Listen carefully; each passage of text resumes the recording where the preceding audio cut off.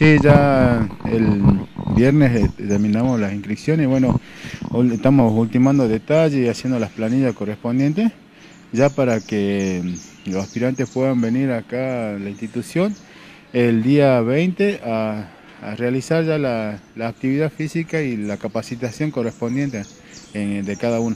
¿Cuántos inscriptos hay? Tenemos 84 inscriptos entre un 50% de mujeres y varones. Ahora ellos, esto no significa que ya sean integrantes del cuartel, sino que tienen que cursar todo el año.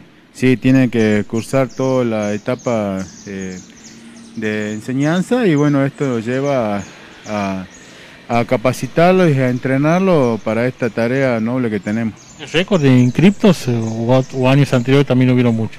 Sí, tenemos un número elevado, así que contento porque hay bastante gente que está interesada y que quiere quiere probar a ver si esta vocación es la que le lleva en el, corazón y bueno, al pasar de los tiempos, bueno, ya se van dando cuenta de cómo es la vocación y si, si realmente ellos llevan a esto para adelante, ¿no? ¿La mayoría de aquí de Palpalá?